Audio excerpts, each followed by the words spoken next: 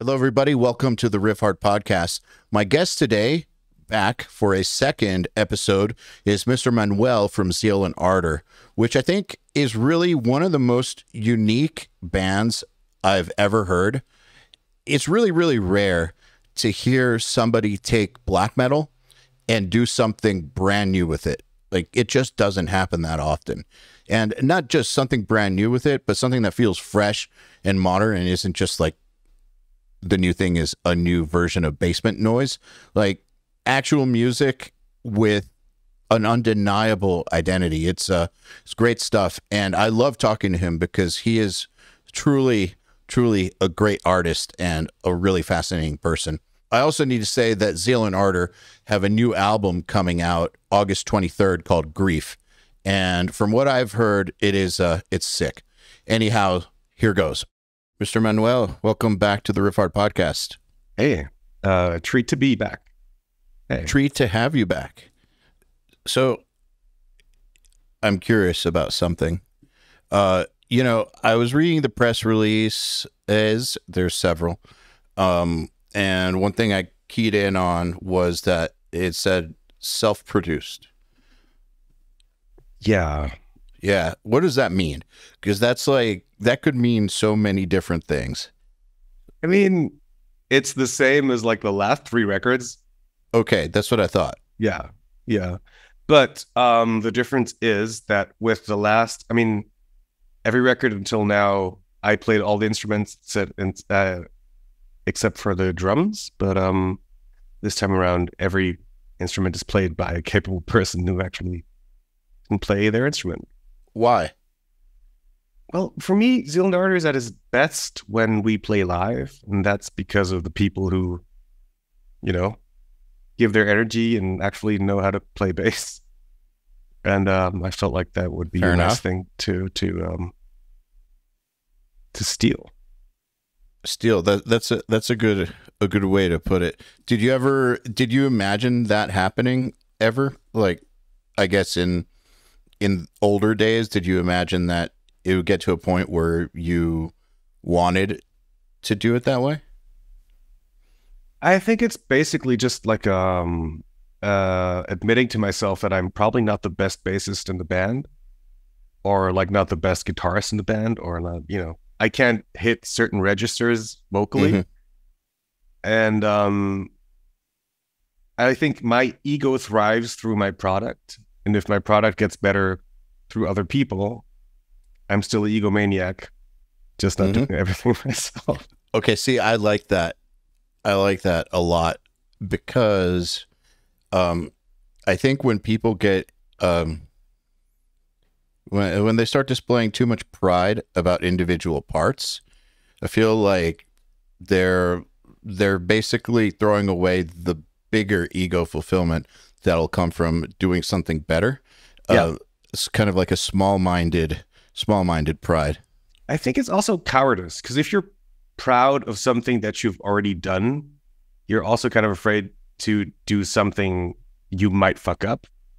Mm-hmm. And that's where I think is is the most interesting creatively. But um, that's very very conceptual. It's a it's an interesting concept though. So in this case, do you would you say that trying it with other musicians would be the thing that could possibly be fucked up? Yeah. I mean, because like yeah. up until now, I know how this works and I could easily do like Devil is Fine too. I would just hate myself for it because it's just like, you know, being my own cover band. Um, and it, you know, it's kind of scary. Like there's, there's other people and there's their flavors and colors on this. People might hate it but it's something new, and I think that's uh, that merits exploration. All right.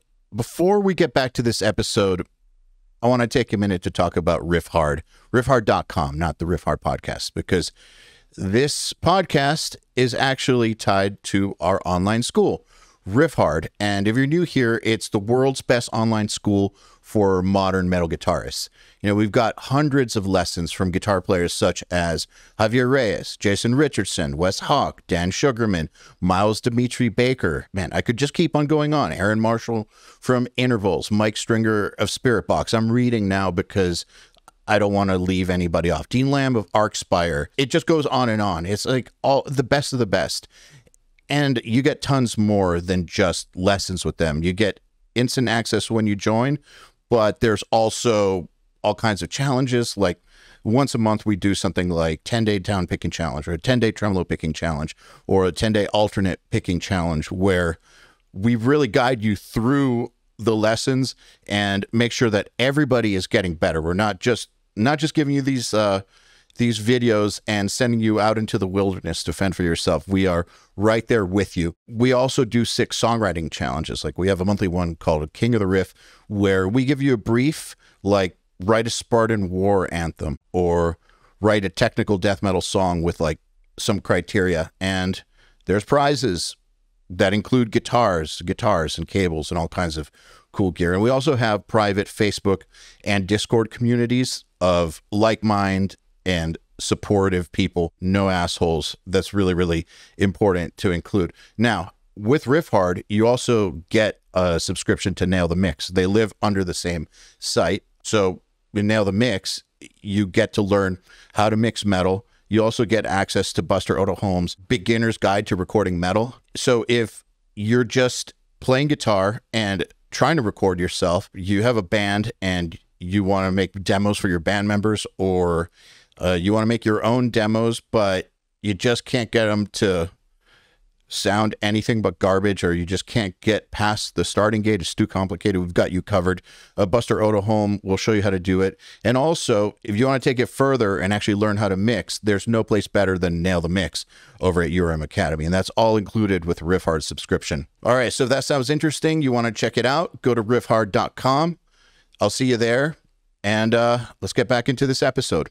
Once lots of bands get to a certain level of being established to where I hate to use the word brand, but like there's an established brand, there's a fan base, it's been going on for a while, there's a thing they're known for, it works, and uh, you know, maybe uh maybe they've been able to make that their their jobs and that's pretty fucking cool to to be able to do that.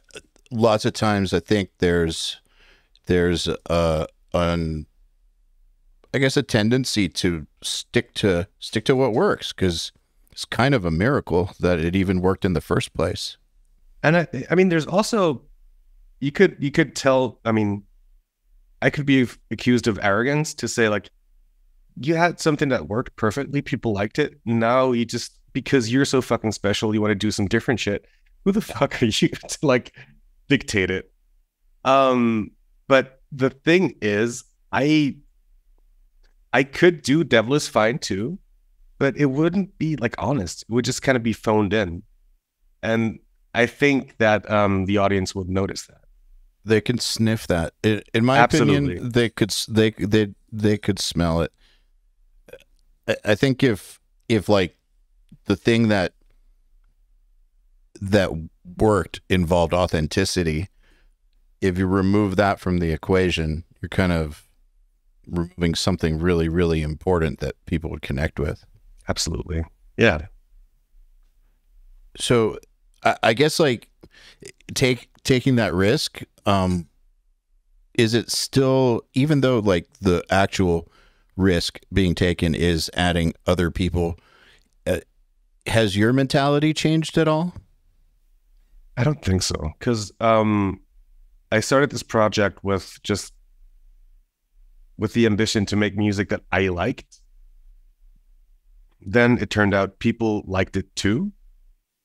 And um, with that came um, the persuasion of I should just like give them what they want.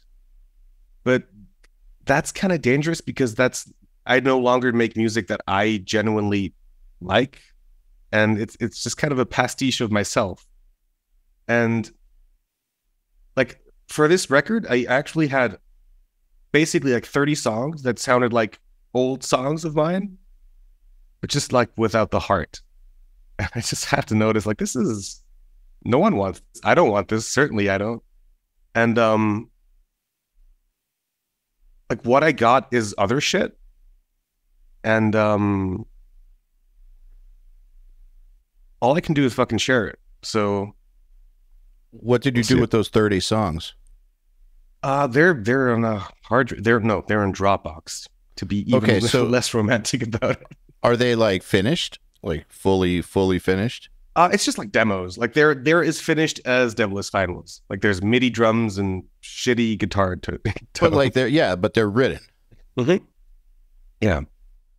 I like that. So you ditched 30 songs. That's awesome. Oh, I did way more than that, but that's just how I write. Like I I I'm not very like romantic about writing. I get up at nine, go into my fucking room basement thing, come back out at like midnight, and maybe five percent are good. The rest is just it's about volume. I guess you're not worried about it in the moment. and that's kind of key i think like if, if i'm thinking about like ooh, what what do people expect of me that's the moment that i'll i'll make a really shitty song Does it take, uh, does it ever take a while to get to the good stuff? yeah yeah like i said like 95% of what i write is just kind of mid or shit and it's about the the other 5% Yeah. It, I really think that people limit themselves by getting too, uh, too precious about what they write and don't just write more. Yeah. So I have a rule that I don't um take old ideas and try to make them into songs Mm-hmm. because I might as well just do a better one because I have more experience now. And Yep. Yeah. And you know, maybe something, you know, gets lost by the wayside, but I mean, fuck, man. Who cares? Let's make something interesting. I mean, if you're writing every day or almost every day for that long, there's a reason why you didn't pick it. Absolutely. Yeah. Yeah. Has there, have you ever broken that rule?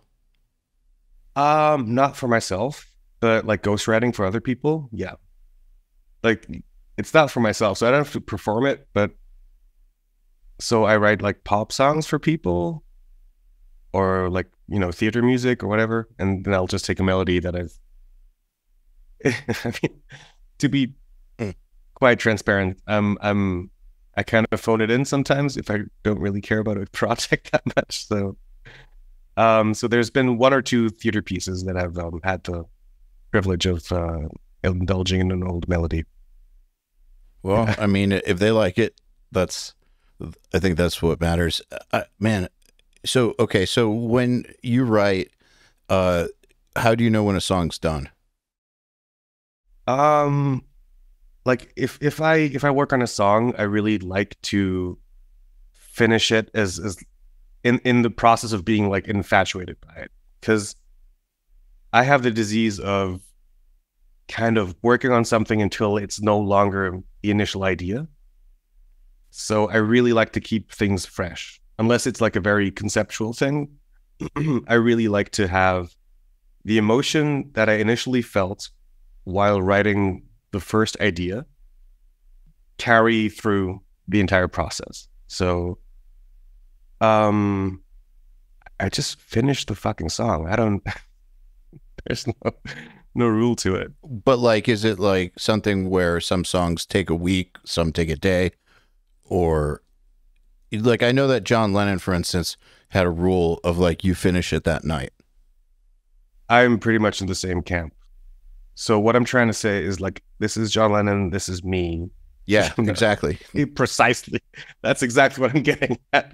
No, um, it's just I think it's it's just the phoning in thing again. Because if, if I come back the next day and I no longer feel the same way, I Mhm. can't really convey that feeling any longer. So I can't really finish that song anymore.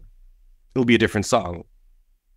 And I think it just dilutes the the the the urgency and the emotion of um of the song, melody, lyric, what what have you. Yeah. That makes sense. I mean, you can never really recapture a moment.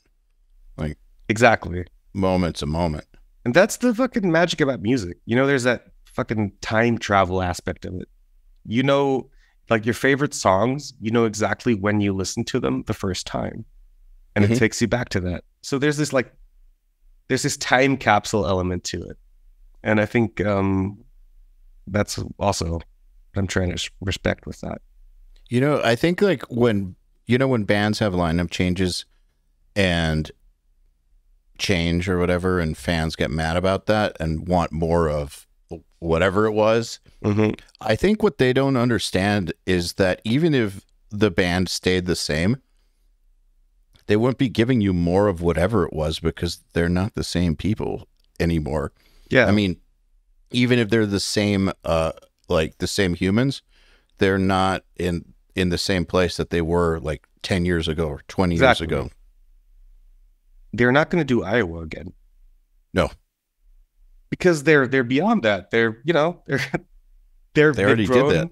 They already did that. That record actually already exists. So if you want more Iowa, guess what? There's a there's a button that plays the entire album again. Amazing. Yeah. Yeah, I think people want to hear it for. The, I think what they're really saying is they want to hear it for the first time again. Yeah. And that's hopelessly romantic when you think Yeah, about it. it's like sa- Yeah. unfor- yeah, sad. But uh, but I do think that that's what they're saying. Yeah, it is. Yeah. You're you're totally right. That's that's absolutely true. Yeah, it's it's unfortunate. I know I feel that way about movies too. It's like, man, I wish I hadn't seen this so I could see it again. But Mm-hmm. oh well, Oh well. just never watch it. Never watch or listen to anything. Then uh, Exactly. Just eat styrofoam Yeah, in, in a white problem room. solved. Pro- problem totally solved. How Mhm. have uh, people reacted to the the new singles? I I mean, they sound like you. So Yeah, yeah. I mean, the first one was like the softest song we ever put out, and then like the second one was like kind of one of the hardest we put out, which is funny. But I mean, like people who don't like us, they don't really comment on our videos. There's a couple who said like, "Oh, just derivative," which I find really funny. Um, but I mean, other than that, I, more of the same shit. more of the same shit. Oh my God, shovel into my fucking no. It's it's so funny because uh, there's there's wildly dip- different opinions. There's people who say this is oh fuck yeah I knew they they do this again, and there's others like I I'm so disappointed they went this way. it's like what what where are we going at? And well, so- that's more of a reason for why it's just a bad idea, practically speaking, to try and deliver on a formula because Exactly. you're kind of guessing. It, no matter what, you're kind of guessing, and there's you're always going to end up disappointing somebody. So I think the best bet is to just trust your own instincts because your instincts are what got you there in the first place. Precisely. And um, guess what? We have to play these songs for like at least two years. Yeah. So I think I'm going to make an effort that I like these songs. So I have at least one 100% sure factor of a person likes it. And the rest is, you know, take it or leave it. Um, yeah. So that's that's how I roll. That make that makes sense. So when when working with the dudes in the studio, uh did you guys do the modern thing of everyone record on their own or were you were you there? Uh, I was always there, except for one bout where I had um, this cool thing called Lyme's disease. Oh shit. Or my half That- half that- of my face sounds, that decided sounds like a great time. super great. Yeah. Um, you know, couldn't hold water in my mouth because I couldn't seal. it. Um, this is this is a little bit of tangent, but um, so they they did this thing where they took the juice of my back. Yes. So, yeah, lum whatever the fuck they yeah, lumbar whatever the fuck I don't know how it's called in English. Um, This is spinal tap, I should have known that. I think. Yeah, yeah. So the thing is, I I, I couldn't emote with my face, and I was in, in Switzerland in this hospital here. So they took the spinal tap, and there was this doctor right in my face saying, "This is fine. You know, this is a very renowned hospital. Um, Steve Jobs was here, and Tina Turner." And I, as a joke, said, "But they're both dead." but I couldn't like smile. So it's like the Yeah, most awkward thing. It just took me. as- They're both dead. It's like, uh, all right, yeah, like who survived? Yeah, Mhm, Tell us about people that Uh, got out of here alive. that was a long minute, man. um. yeah. Anyway, uh, well, I had the demos, and then we replaced every track gradually with um the bespoke instrumentalist. To answer your question, In yeah, in person. Yes, yes, yes, yes. Okay. And uh, uh I'm this is this is interesting to me because hearing the stuff that's been released, it very much sounds like I uh know you guys to sound. So Mhm. if I didn't know that there were uh that it was now the the band the live band is on the record, Mhm. I wouldn't have guessed it because it just sounds like it doesn't sound the same, but it just sounds like you know sounds like your new record. Sound, Sounds like the sounds like you. So, um, so what I'm curious about is, did you have to try for that, or is it just you've been playing with these guys, and it's just molded itself and it just works? it's even beyond that. Like if I write a song, I have them in mind and I know Mhm. what they like and what they like to play. So I kind of like I do I program like drum fills. I'm like he's gonna get a fucking kick out of this. So it's like these micro presents that I put into songs for them. So That makes sense. yeah, it's a it's a symbiotic or parasitic. Yeah, and are they? eh, I'm guessing that the way the setup, like, it's just seems like it happened organically too, right? Yeah, yeah. I mean, yeah, we've been playing together for fucking eight years. It's not. It's not like we're. They're like baffled by. Oh no, I need to play a, a sad melodic fucking bass line. They, they know, and there, there's a there's a certain formula or there's a certain vibe to my my songwriting in in this project, and they know it, and they fucking do it better than I do, and that's why.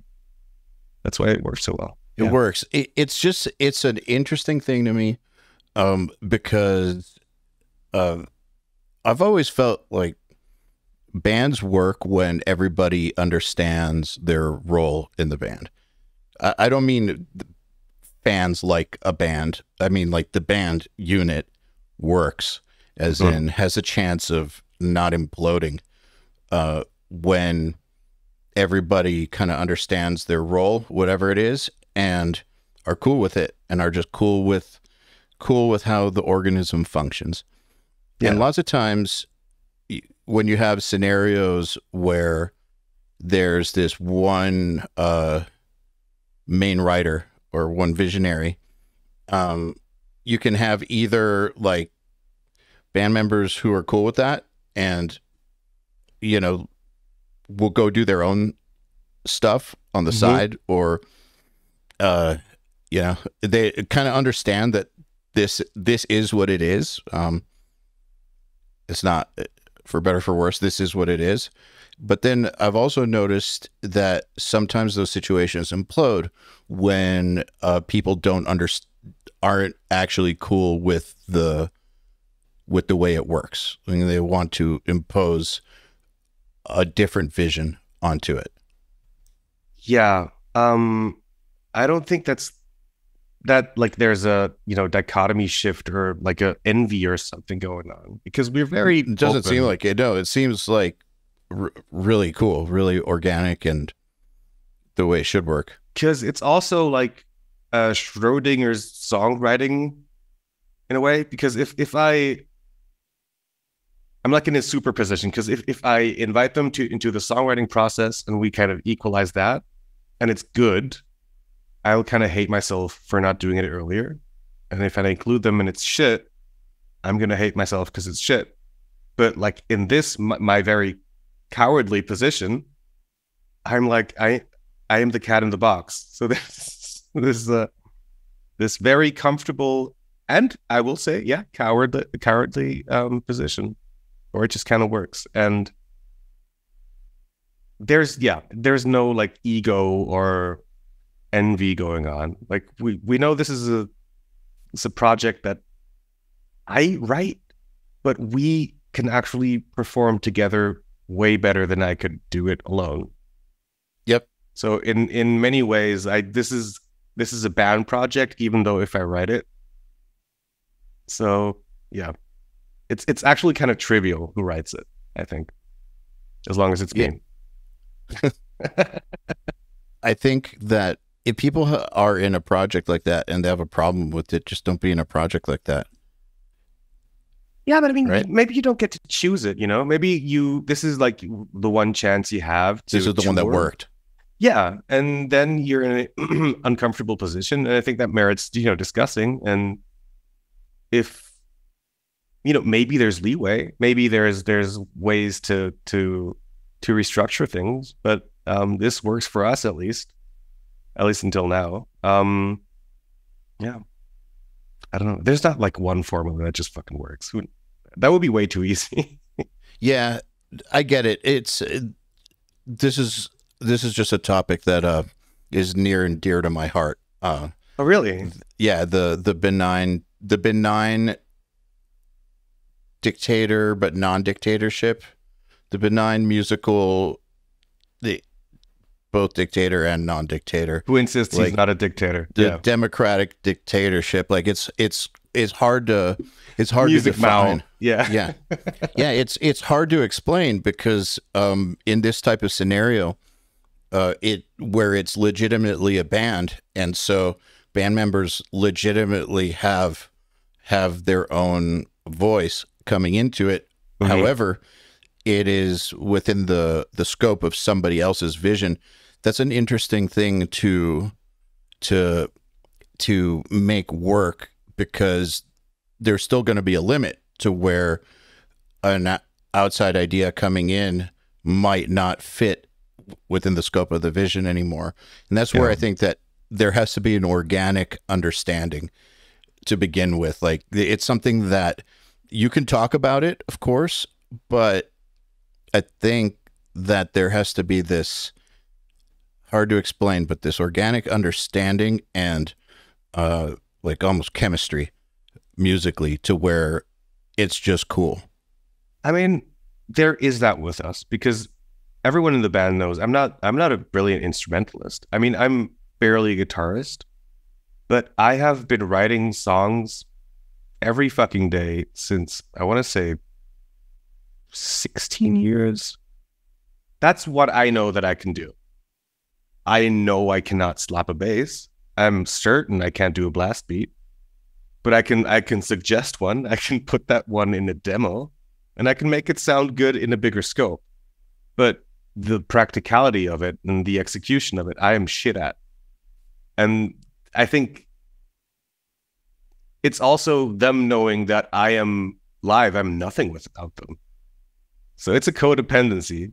Eh, this could be either, like I said, either be symbiotic, or you could read it as parasitic and codependent.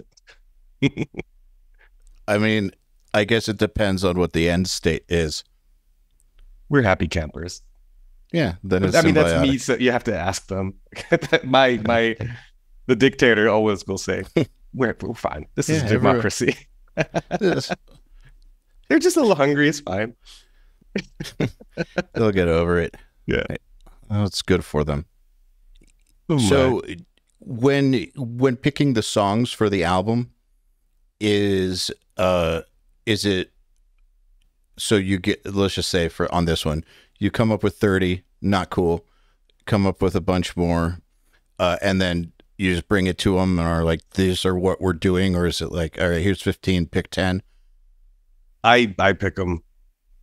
okay That's that. That's the benevolent dictator again, because, um, I don't know why. I'm just control freak. That's the yeah. There's I don't.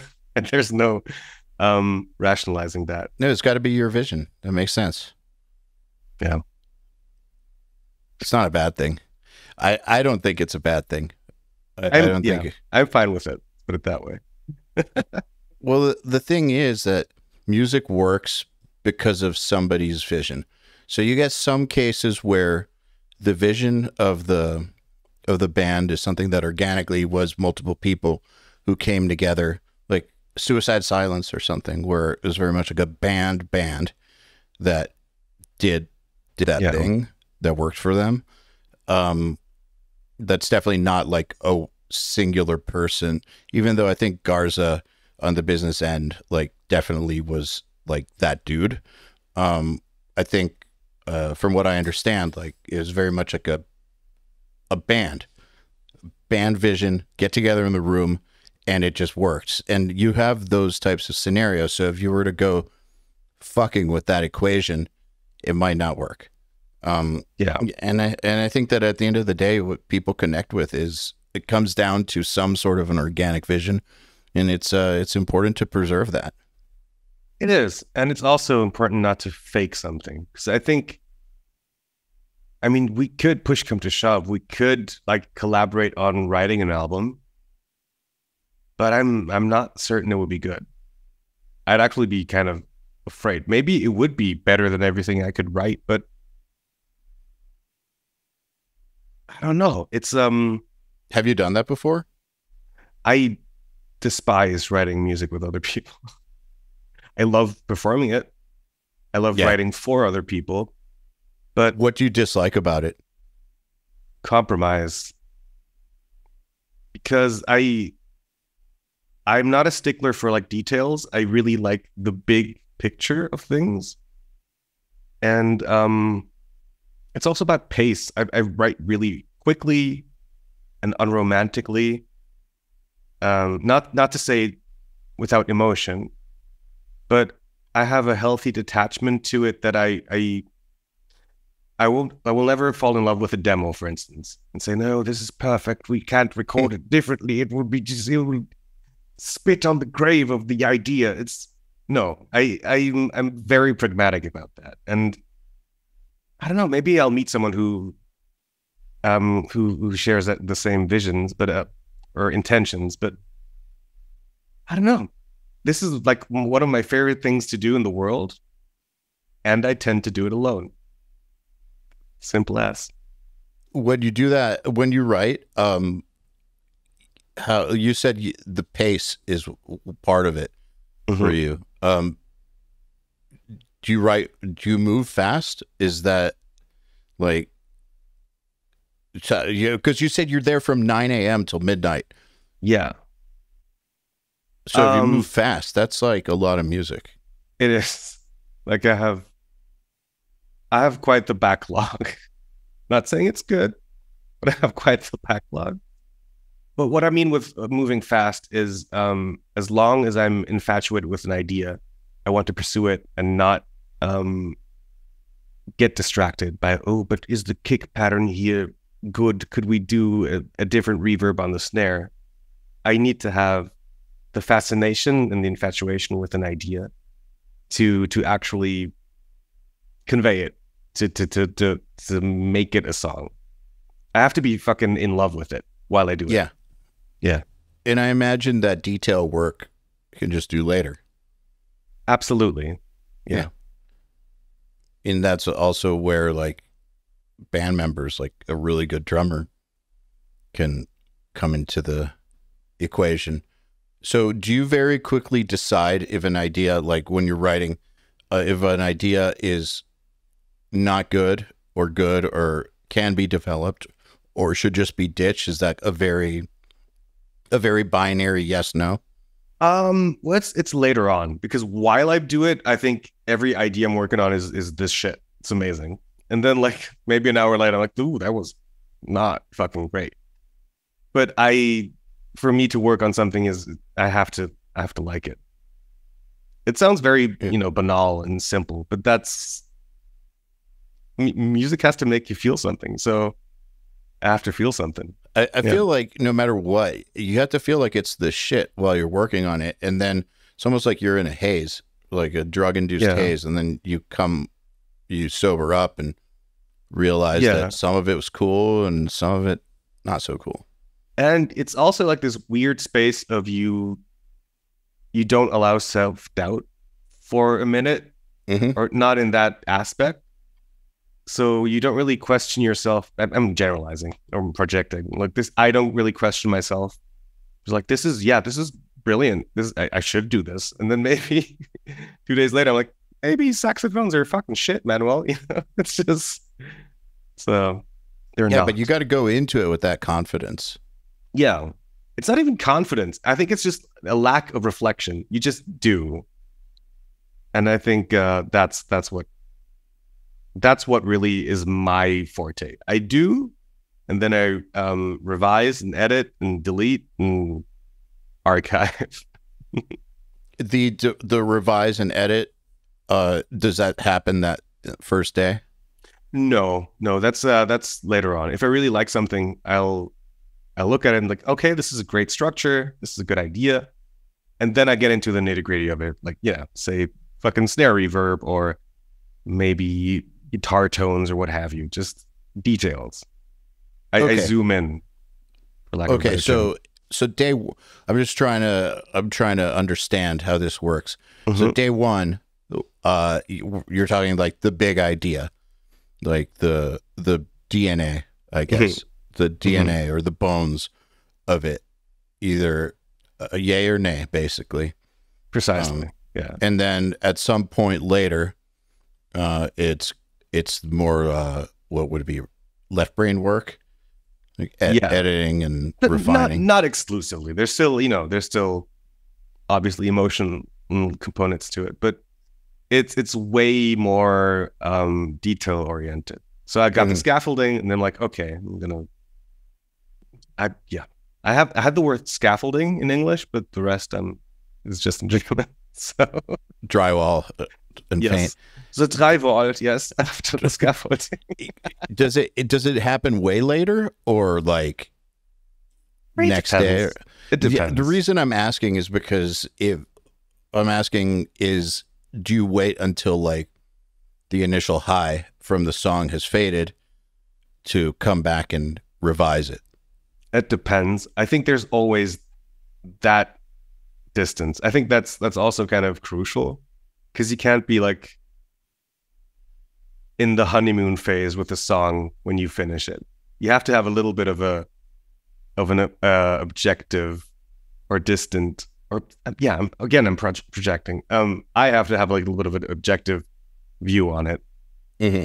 because I can't just, you know, I can't be in the this is fucking the shit. Everyone will love it. I will never doubt it. I mean, yes, in the first, you know, steps of it, but after that, I think it's kind of healthy to to be a little bit of, you know, uh critical. Not self-deprecating, but like sh- should Make we it better. really should we really have that many kalimbas? Is that, is that is that a good decision?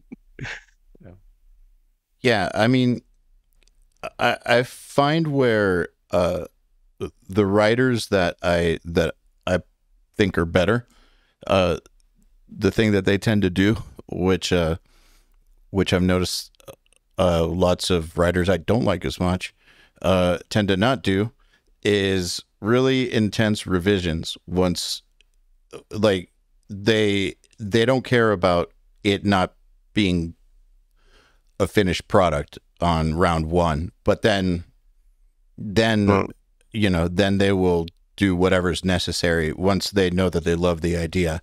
And I, I've noticed a lot um, uh, with people who haven't quite found their thing yet.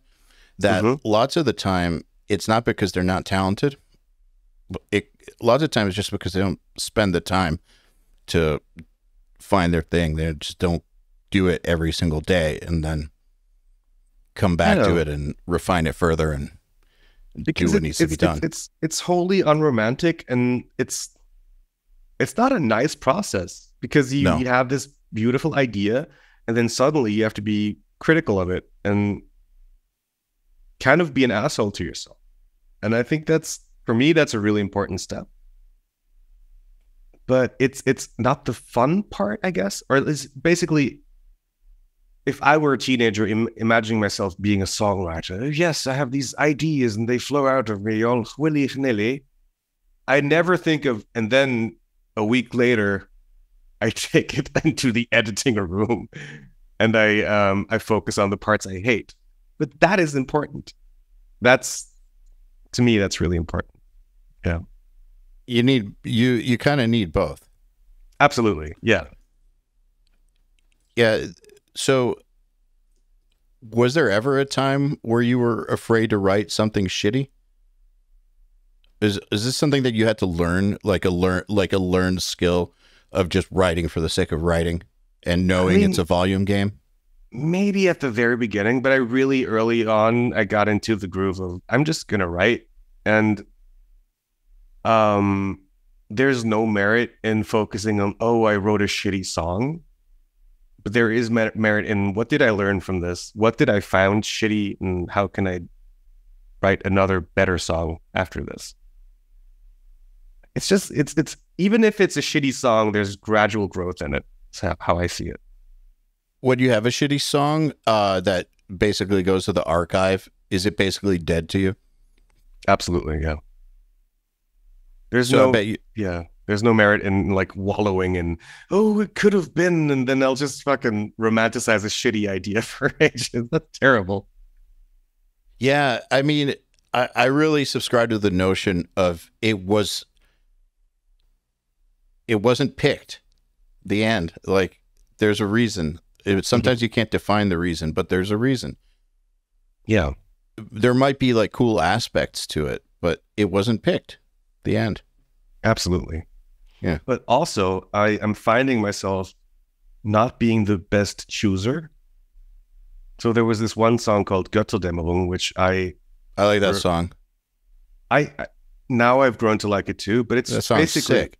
it's like a dum dum riff. It's just dur, dur, dur, dur, dur, dur, dur, dur. and I thought this is the the stupidest idea I've ever done. Uh, people will think it's like, like the most stupid dum dum riff ever, and like people from the label said this is going to be great. You have to put this out as a single. No no. Give them give them the slow jams. That's what they want. That was stupid me talking. So there is also a bit of a disconnect but that goes back to what i like versus what the audience likes. And um i guess i'm not my audience. Well yeah you can't you you can't control how other people will react to it. And by the way you're not the the first person I've known t- to have said those exact words. Like, uh, like I, I I've known quite a few people who some of their biggest songs they personally didn't understand why people like them. They thought that they were like their their like trailer park riffs or like they're like they're like they're one one person did say like this is just like my stupid riffs like, I mean, look, yeah. honestly, I think, and this is a little bit of a stretch, but I think that's the appeal of Taylor Swift. Not saying she's trailer park or anything like that, but the thing is, it's such a non-specific emotion that it applies to such a broad segment of the populace. So if, if I tell you, yeah, when my grandfather from Mexico went to Cuba and then he smoked a green cigar of that and that make, that's a very fucking specific story. But if I tell you I was in love, it hurt, I think it's more likely you'll emote to that or relate to that. And I think that's where the dum dum riffs in a weird way come in.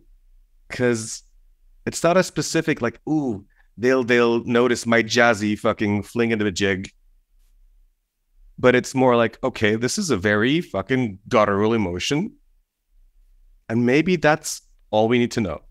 And I think that just speaks to wider, a wider I think segment. I think you're right. And but I also or not but and I also think that when someone feels that way about one of their riffs that ends up being in a popular song or feels that way about one of their songs that ends up being popular to them, it I I feel like to them, it, they're interpreting it as very, uh, I guess, a, an underdeveloped version of what they're capable of.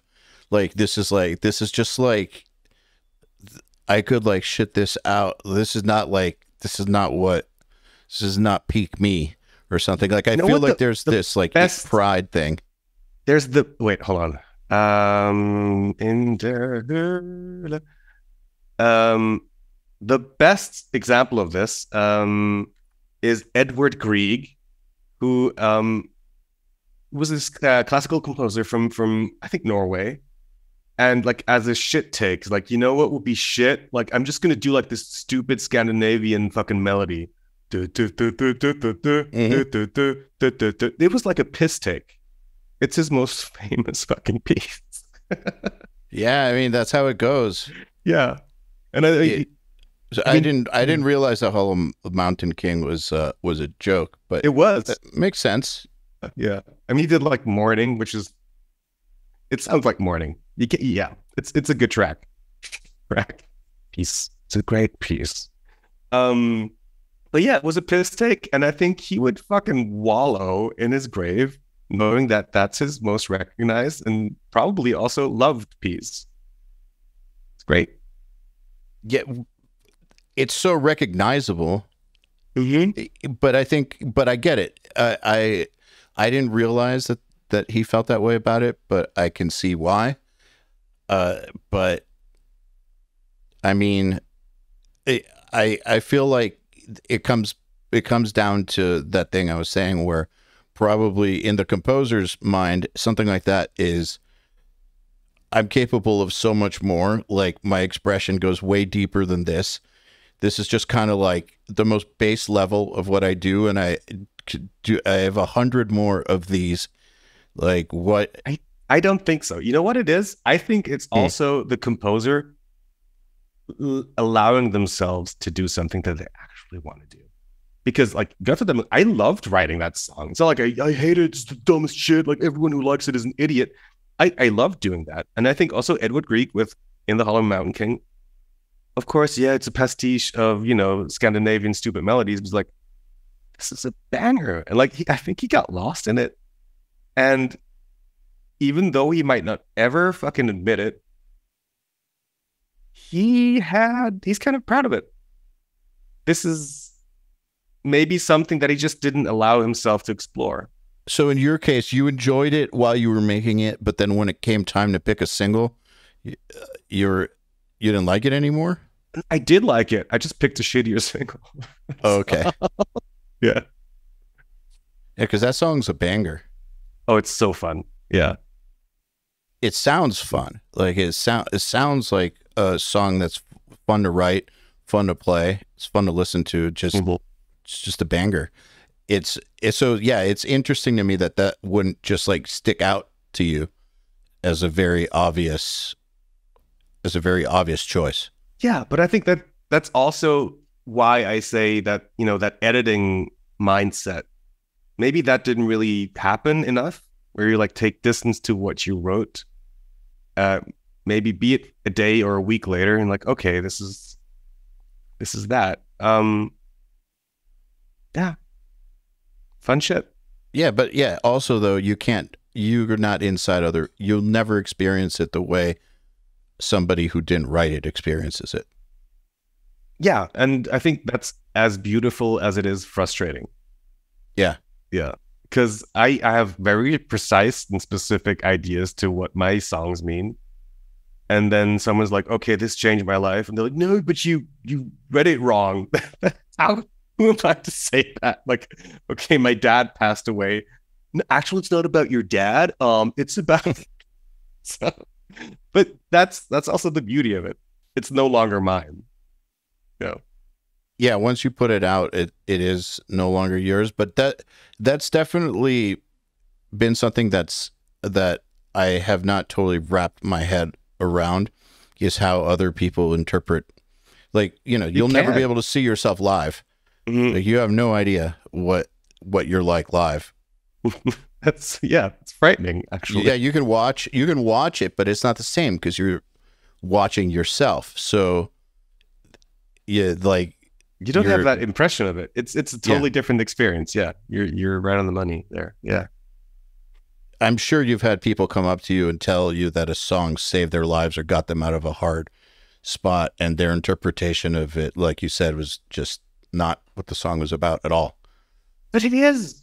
I think Yeah. like at that point, their That- that- their that's what's so fascinating. their view is just as valid as my silly view. And I think the shittiest thing to do then is like actually no. Actually, That's no, you're wrong. That's no, fuck you. Because that, I mean, if, with my self-righteous fucking intention, who gives a shit if if it fucking helped someone, even be it's you know something trivial. It's it's it's worth more through that. So, what do you think about when directors, movie directors, uh, get very particular about how people consume their movies? I think I mean there's there's there's levels to it. I think if you're looking like if you're watching The Fall from Tarsem, maybe maybe a silver screen might be cool. But um I don't know. Like I I I think I'm a shitty example because I grew up with MP3s and like shitty fucking MP4s of movies and TV shows. So I'm I've never been very particular about how the medium is presented. But I I mean fuck. I could I, mean, I never picked lenses for a scene. But there are people out there who picked specific lenses for a scene. And I can understand that they want to, they want people to feel, see, and you know, enjoy the lenses that they picked.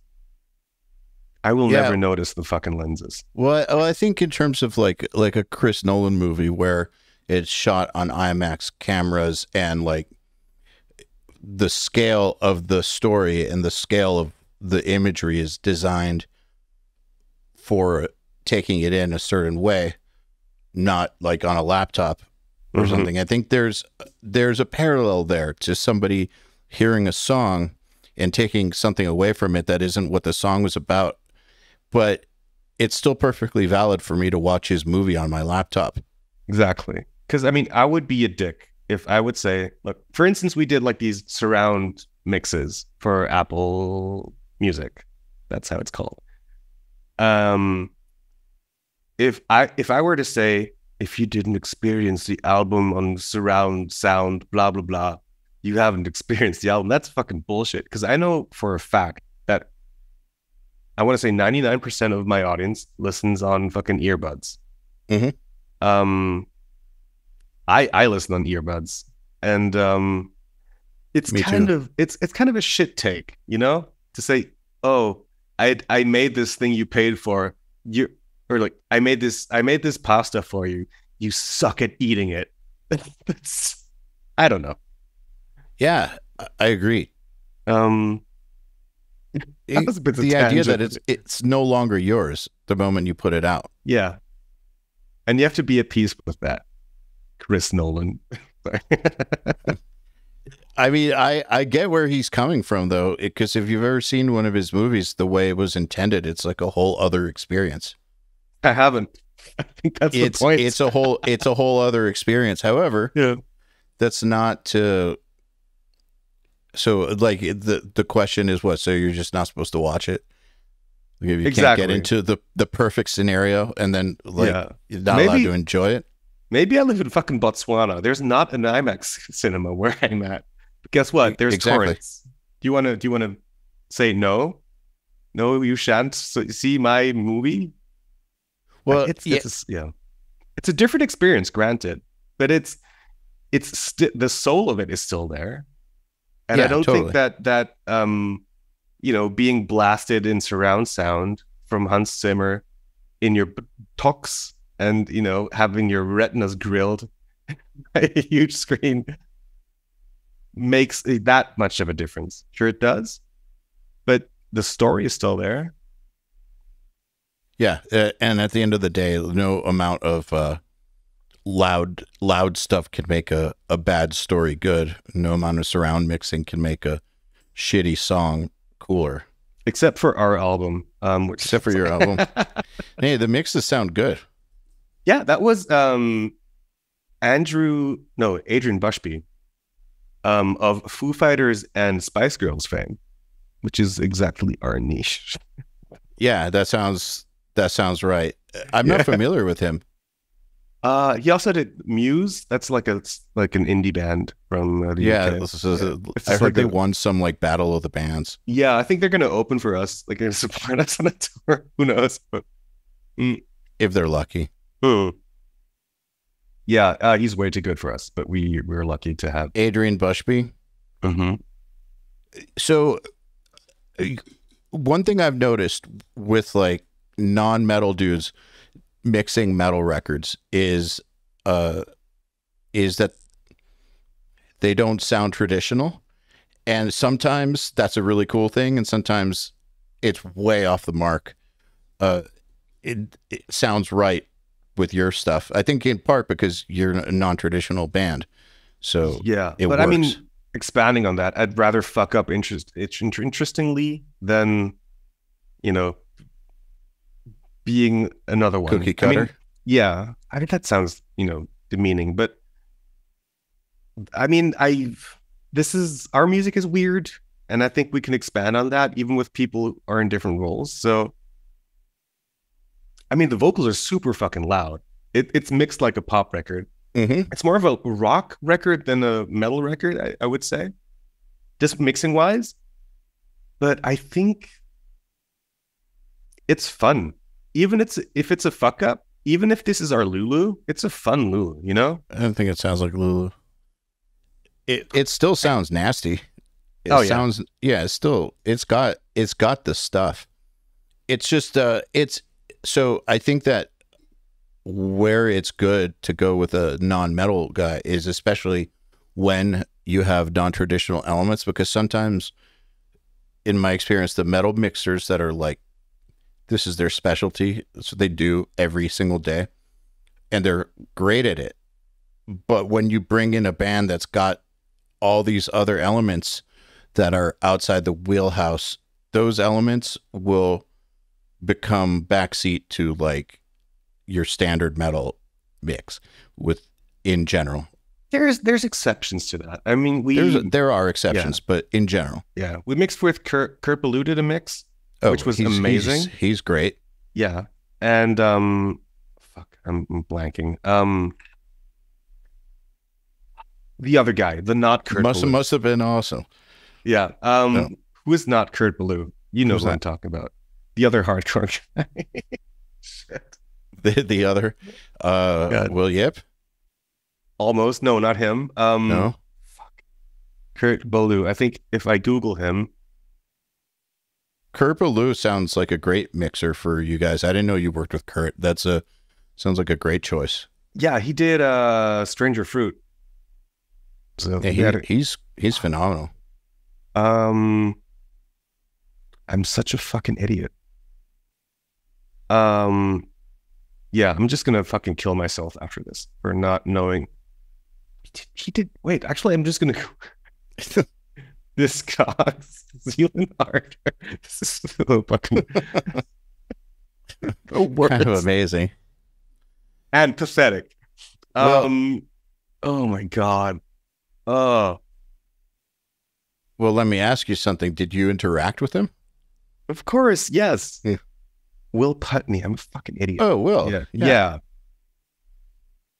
William. He's Oh. awesome. The so other about Will. about not editing. Um, we we could cut that if you want.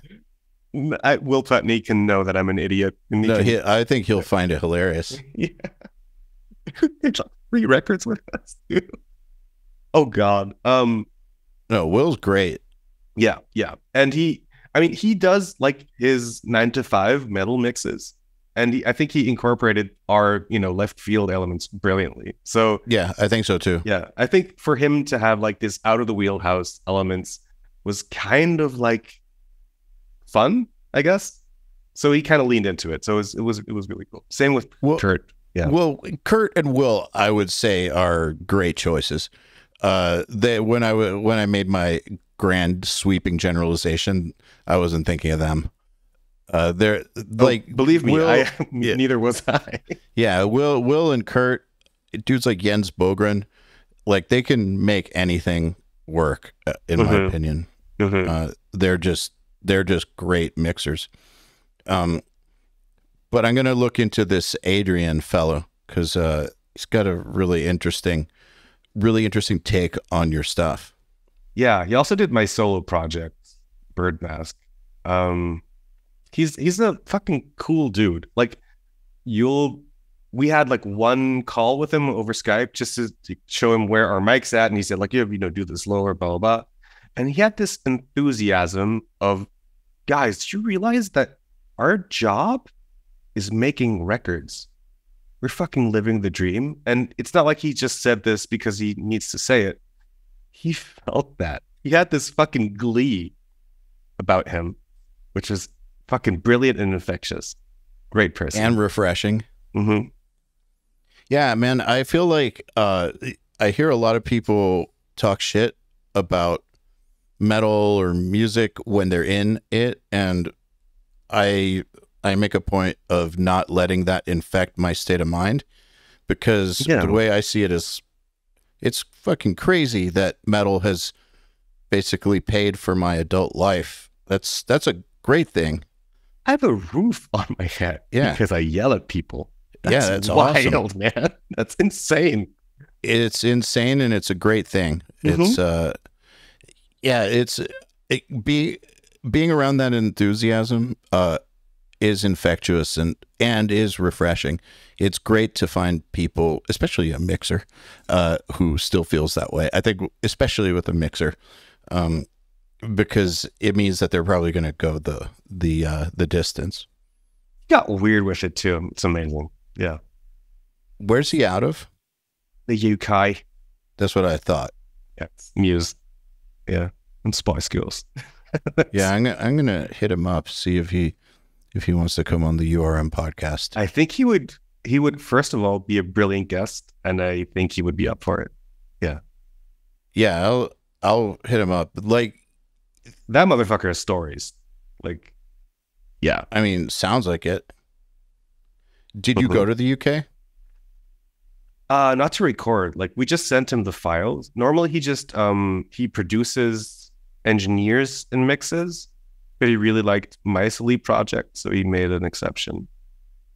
I'm special. Oh, very special. So, so you did like internet mix notes, yeah, yeah.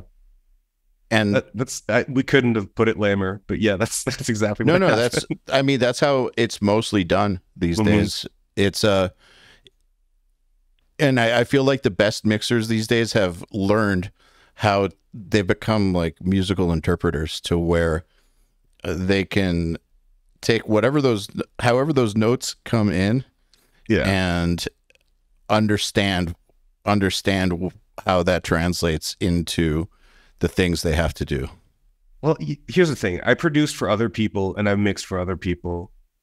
And I I know what what's, you know, what's what's can you make it more sparkly? That's oh, sure. Yeah, it's like I'm just going to the sparklometer knob the sparkler up yeah, The up to sparkler. 10. We're quite concise with our feedback, but also like I couldn't imagine every anything worse than having done a mix and then the artist is in my studio breathing heavily through their mouth to my back, going, I think here the guitarist should have more bottom. It's no, no. Let's let's as a society, let'sn't. That's very bad.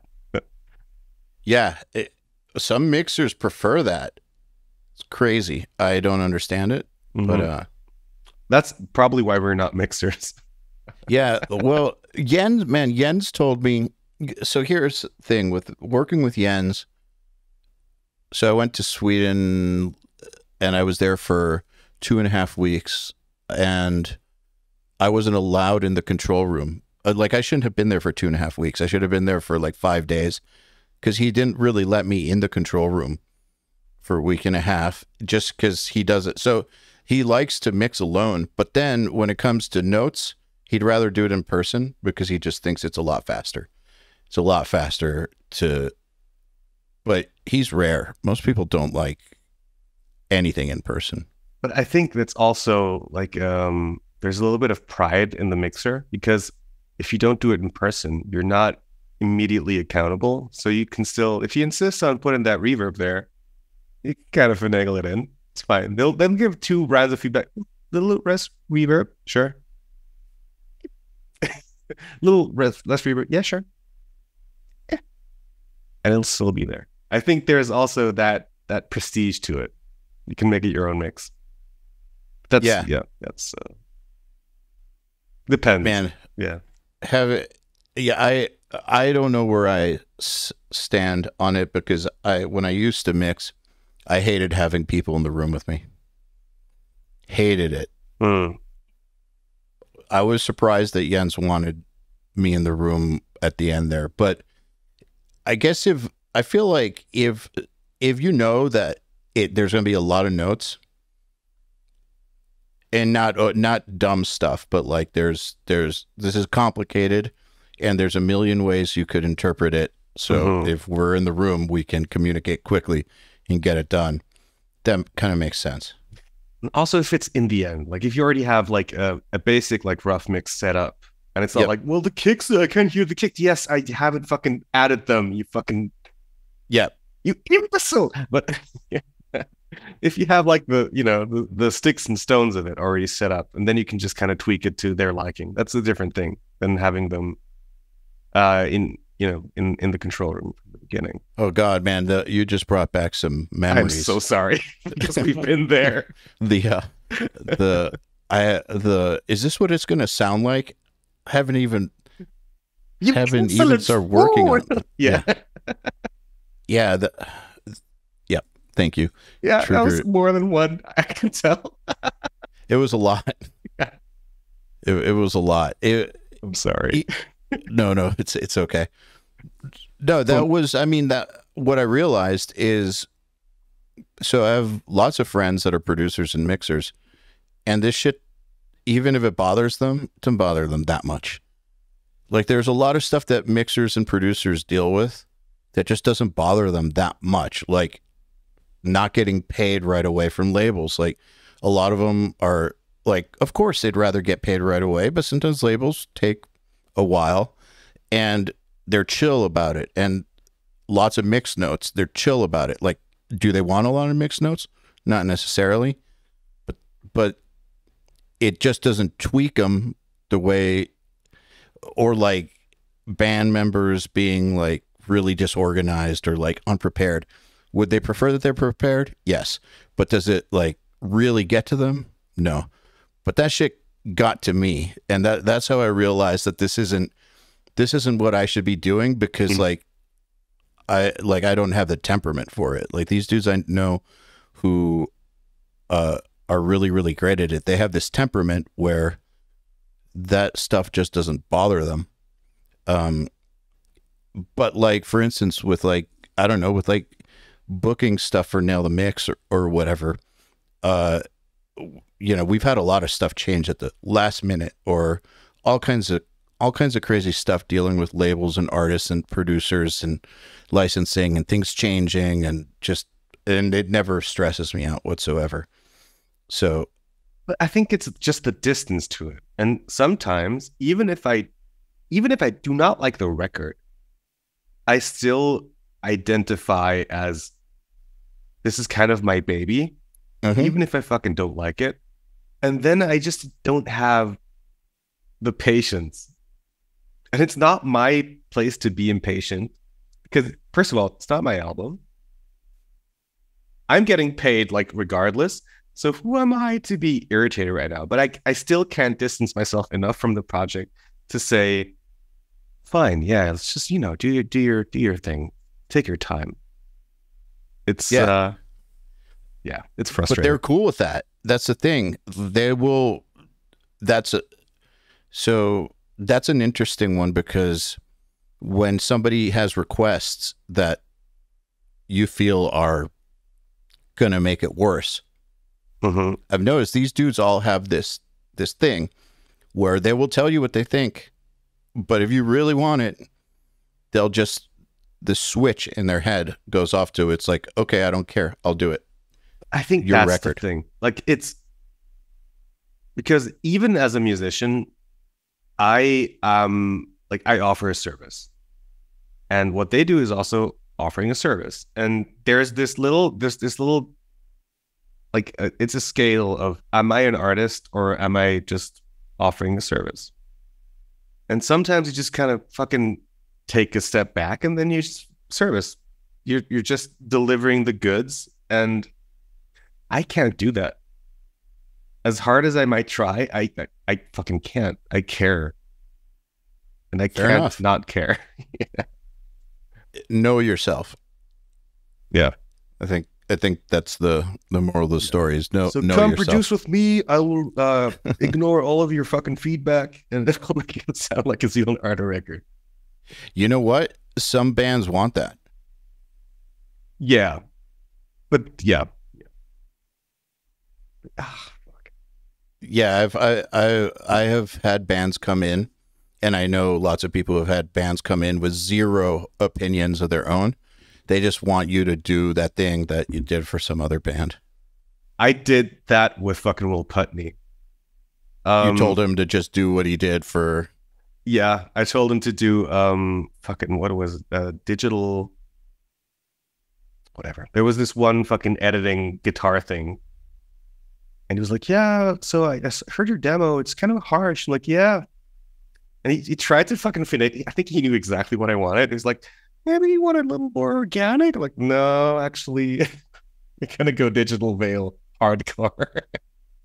and he did it. He did it. I think that was for him. It was like, okay, I'm I am the serviceman now. Mhm. And I might have yeah. But that's that's a fucking quality. Because Yeah, absolutely. in the end of the day, it's just me being a fucking egomaniac and not, you know, being able to step back. But it's all, Yeah. but it's also mixer understanding their role in the process and not. But I mean, not you know, their, it's not their band. Yeah. But I mean, there's also scenarios where a mixer is fucking integral to Yes. how it all Well, is. it's always integral. So they just have to know. creatively. They just have to know where the line. Well, yeah. They so they have to. They have to know where there's this line, and the line is different in every scenario. I think like every artist has different needs. Every song on every record has different needs, uh, and every personality will interpret input differently. And uh, the great mixers under like they can see that line or know how to find that line Mhm. and if if they need to put in a lot of input they'll put a lot of input if they know that it's better to just let the let the artist steer the ship they'll make sure the ship's working I properly think there's so much psychology with being a producer. You have to like, you know, create this space where people feel fine to, you know, do this or that, or maybe like egg them on or whatever. But I think it just comes down to figuring out how lost they are. How how Yeah. lost is this artist? Where where does my my realm start? Because every artist is lost in the studio. That's just how it is. And it's just about figuring out how far do I have to take over? Is it, you know, how far do I have to babysit? Yeah, that's a that's a great way to put it. The ones that I think don't last, uh, that I've seen don't last, or who might be really good but end up with like bad reputations, even if they put out hits, um, tend to not read the room right with that that question right there. Yeah. Um, or there's another possibility, which is that the artist doesn't know how lost they are. So, like, so I've heard a lot of stories about an artist going to a genius producer and Mhm. getting the best record of their lives and the most successful record of their lives, and them hating the producer the whole time and hating that record and never going back to them. Uh, and then years later, being like, actually, this is kind of our best record. And so I think sometimes the artist doesn't know how lost they are. It's so this this interesting, it's this interesting dynamic of Yeah. Absolutely. because some people are are some people know that they're lost and need some guidance, and not not always. But I think it's a good place to end the uh, the podcast, man. I want to thank you for taking the time to chill and talk some shit again. Yeah, this was beautiful. And I think we Yeah. meandered, and uh, ranted. It was really nice.